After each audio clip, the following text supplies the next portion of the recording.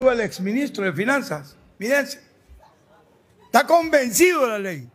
Está convencido que la ley sería la herramienta para meter presos a los delincuentes que han saqueado este país. Pero aún así no va a votar a favor. ¿Saben por qué?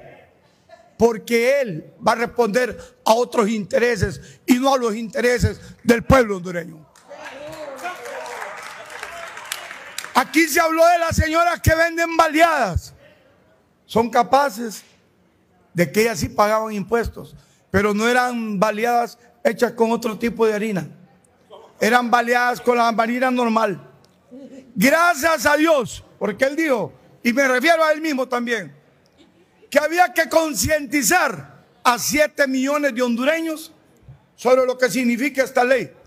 Ustedes le enseñaron al pueblo a contrabandear con cocaína. Gracias a Dios que no lo hicieron. Porque los que lo hicieron están allá, en los Estados Unidos de América, y falta que se lleven otro grupo. Eso les voy a decir aquí bien claro.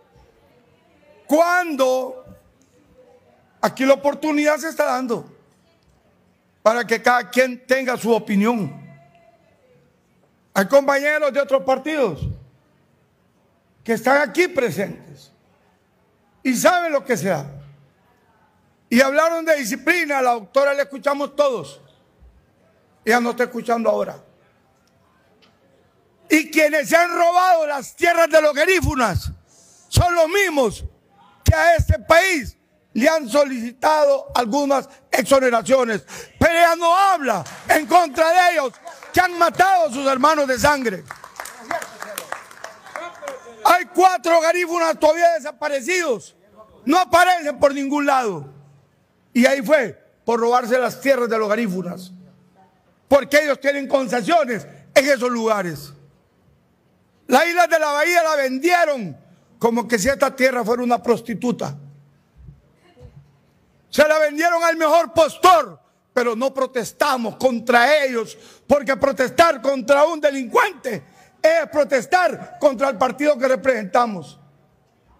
Yo por eso digo una cosa. No uso la palabra muchas veces. Yo oigo a la, doctora Bermúdez hablando permanentemente. Cuatro salarios o tres salarios creo en salud pública. Yo, y yo vivo apenas, y yo vivo apenas de lo que gano en el Congreso honradamente. Porque nunca he sido ni narco, ni contrabandista, ni nada por el estilo.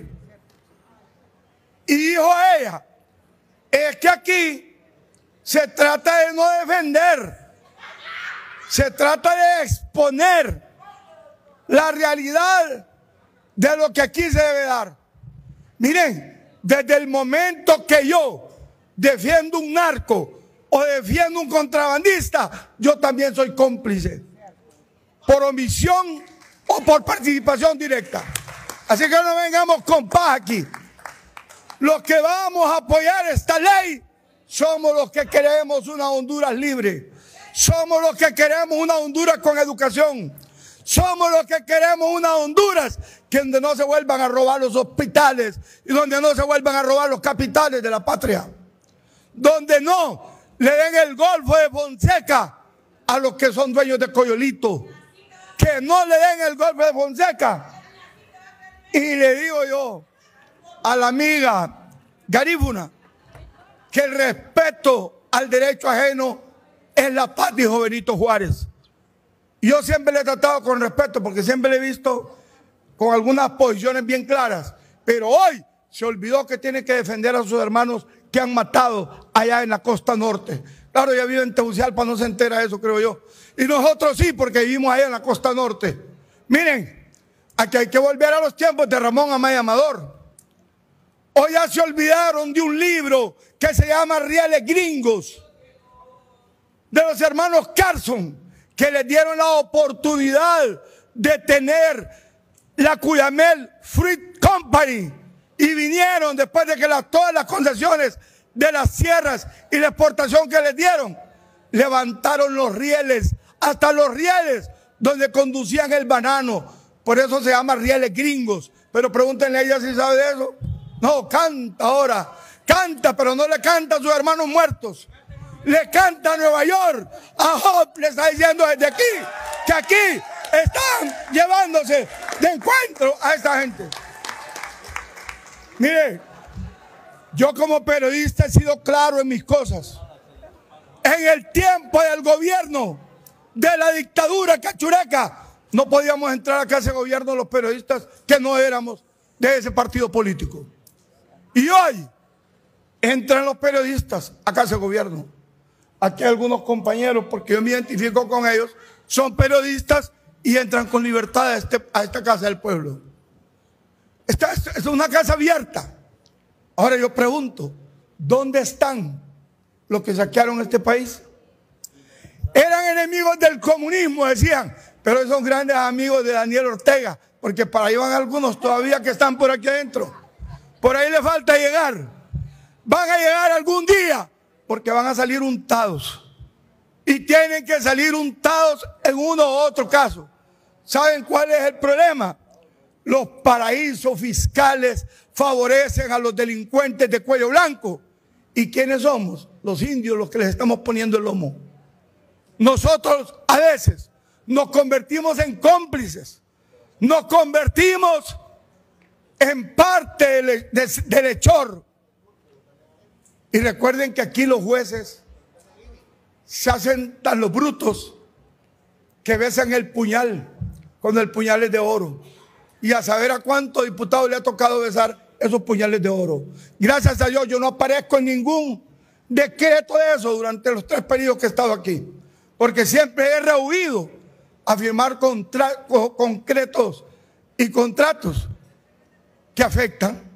Fíjense que nosotros aquí estuvimos en estos periodos, principalmente en la Comisión de Energía, y cuando el Partido Nacional exponía que había que hacer algunos préstamos en dólares Casi en medio de seis meses aprobamos dos mil eh, millones de dólares y después otros dos mil millones de dólares. ¿Y por qué lo hacíamos? Para defender la empresa nacional de energía eléctrica. ¿Qué significa? Que Libre no es un partido que es amante de la privatización. Nosotros lo respaldamos para que no privatizáramos el país. Hoy díganle a ellos que vamos a aprobar un préstamo para algo necesario, para rescatar un dutel, para rescatar eh, y construir carreteras, para construir escuelas, para recuperar los hospitales de la patria, porque los hospitales móviles se los robaron.